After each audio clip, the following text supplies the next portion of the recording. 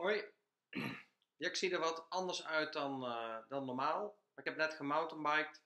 En ehm, ik had vanochtend een blogje geschreven op mijn site over de huismus. Die ik eh, onder andere in me heb. En toen dacht ik tijdens het mountainbiken van nou, laat ik er ook nog een vlogje als toelichting voor maken. Dus zie hier, in mijn mountainbikepak nog. Het ging nog net met eh, de sneeuw net. Was heerlijk met de zon. En ehm, ja, kan ook wel zo gaan eh, zitten, maar dat ziet er natuurlijk niet uit nou met die uh, corona-koep. en aangezien ik toch mijzelf nog wel wat ijdelheid toedicht, dan maar zo met het, met het mutsje. Nou, en ik vind het ook eigenlijk altijd wel leuk om zo deze takes in één keer op te nemen. En dat het juist ook niet allemaal perfect is en moet kloppen. Ik hou daar ergens wel van. Het geeft me ook wel wat rust. Soms zie ik op LinkedIn van die filmpjes met hoe je je moet presenteren en dan alles gelikt en het klopt allemaal. Nou, het geeft mij ook altijd wel weer wat, uh, wat rust, zoals ik al zei, dat het niet allemaal hoeft te kloppen. Uh, nou, de, het blog van vanochtend, de huismus, ging over het feit dat ik het wel heerlijk vind en fijn vind om thuis te zijn. En nou ja, dat zou je kunnen noemen de huismus. We hebben hier best wat vogeltjes om het huis. Dan zie ik ook soms de huismus. En de huismus die, ja, valt niet altijd zo op. Of misschien zijn er ook wel mensen die dat als een negatieve connotatie uh, ervaren, de huismus. Maar ik ben er wel blij mee. Ik vind het dus ook heerlijk als ik bijvoorbeeld twee of drie dagen getraind heb, om dan thuis te komen. Of zoals nu bij die lockdown met die, met die corona, dat we veel thuis zitten, of ik veel thuis zit. Ik ga daar goed op. Ik vind dat prettig. Dat geeft mij ook uh, ja, veel voldoening van wat is nou werkelijk belangrijk. En tuurlijk heeft corona en COVID ook heel veel negatieve en ellendige uh, zaken. Absoluut, dat is er ook. Maar vanuit de polariteiten bekeken, vanuit de tegenstrijdigheden bekeken, ja, levert het dus juist ook heel erg veel op. En ik schaar mijzelf altijd wel onder de positieve mens. Dus ik kijk ook graag naar wat het juist oplevert. Tot vervelens toe, soms van anderen denk ik ook. Maar ik geloof wel dat dat het, het beste werkt voor mij in ieder geval. Nou, dus de kracht van thuis kunnen zijn, stil kunnen zijn in jezelf. Ik noem dat als metafoor even de huismus. Het is volgens mij fijn om die af en toe te voeden. En dan kan je beter prioriteren van wat is nou werkelijk belangrijk. En ik merk ook best dat veel mensen daar nu wat meer mee struggelen.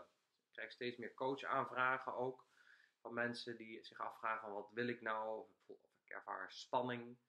En hoe fijn het dan is om even rustig met iemand iets te kunnen delen. Nou, en um, je zou het ook nog zo kunnen zien als die Boeddha bijvoorbeeld. De Boeddha die op zijn kussen zit, met die dikke buik en met zo'n lach. En volgens mij neemt hij het dan allemaal ook niet zo serieus, dat denken, dat ego wat aangaat. En daar moet hij dan wat om lachen. Zij neemt dat niet zo serieus en dat gegeven, dat doen, neemt hij denk ik dan weer heel serieus. Ik hou daar wel van. Want misschien dat je dat ook wel kent, dat je door dat denken, door dat ego zou je kunnen zeggen, weer vanuit het nu, vanuit die rust, naar de toekomst wordt getrokken.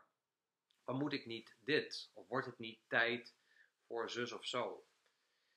Um, en ik denk dat dat niet erg is, Alleen dat het wel fijn is dat je dat bij jezelf soms gewaar wordt. Van, oh wacht, nou word ik weer wat uit het nu gehaald. Of ik haal mezelf nu door dat denken weer wat naar de toekomst toe. Dat is niet erg, volgens mij moet je daar ook niet tegen vechten. Want dan geef je het alleen maar benzine, die motor. Maar dat je dat kan waarnemen. Van, oh wacht, even pas op de plaats. Of de andere kant op, niet naar de toekomst toe. Dat je ook door het denken soms wat vast komt te zitten of het ingewikkeld maakt en naar het verleden gaat.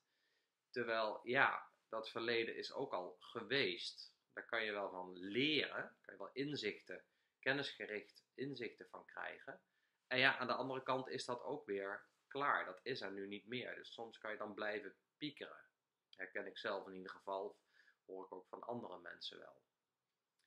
Nou, wat dan kan helpen om misschien wat praktische tips te geven als je nou wil weten wat je daar dan aan kan doen, is volgens mij dat je dus steeds weer ook met je ademhaling veel kan doen. Dat je dus erop let van oké, wat ervaar ik nu zelf? Nou, en dan bijna meditatief, wat hoor ik of wat zie ik, maar ook wat voel ik in mijn eigen lijf? Of wat neem ik waar bij de ander? En dat je dan je eerste impuls lang niet altijd hoeft te volgen. En het soms ook even kan laten. Dan geeft dat vaak weer nieuwe ervaringen of nieuwe inzichten. Of een van mijn uh, goede vrienden, hij kent mij niet, maar ik ken hem uh, goed, is Eckhart Tolle. Die heeft dat boekje ook geschreven, De kracht van het nu. Die heeft als zinnetje, als voorbeeld, als praktische tip van is dat zo? Dan kan je altijd op jezelf, als je een gedachte hebt, kan je jezelf dat altijd afvragen. Of je kan het ook aan iemand anders vragen. Dan kan je een hele coachcarrière mee opbouwen, bij wijze van spreken. Dan is dat zo.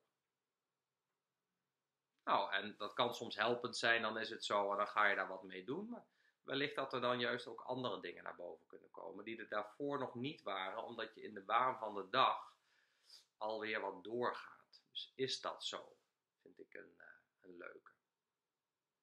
Nou, uh, in de dag ook wat momenten inplannen van, nou, hoe is het met mij? ben ik lekker bezig? Wat doe ik goed? Oh, wat zou ik eventueel ook anders kunnen doen? En dan weer in het nu proberen te zijn. Met ademhaling, met stilte. Eigenlijk heel praktisch kan je ook al heel veel doen. Hoe rustiger je zelf wordt, hoe meer je thuis komt als een soort huismus in jezelf. Hoe meer contact je hebt met jezelf, hoe makkelijker je vaak ook in verbinding bent met de ander. Werkt in opvoeden ook uh, vaak wel handig. Maar natuurlijk veel breder dan dat. Nou, ik ga lekker lunchen zo. En even douchen. En ik, uh, het is nu vrijdag, dus ik wens je alvast een heel goed weekend. En uh, wie weet komen we elkaar nog eens tegen. Mocht je wat informatie willen, dan bel gerust of mail gerust. Dat kan allemaal via de site. Doeg!